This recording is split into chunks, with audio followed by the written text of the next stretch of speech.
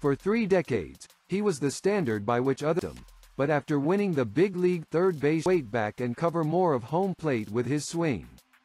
Hits in 1907-1941. Brett kept his average over .400 deep into, however, to merit the AL Most Valuable Player award. The Royals advanced to the World Series that year after three losses in the American League Championship Series from 1976 to 78 but Kansas City lost to the Phillies in the Fall Classic 3-3-5 with 30 homers and 112 RBI that third .329 mark, becoming the first player to win a batting title in three different decades. Two years later, Brett recorded his 3,000th career hit, tired after 20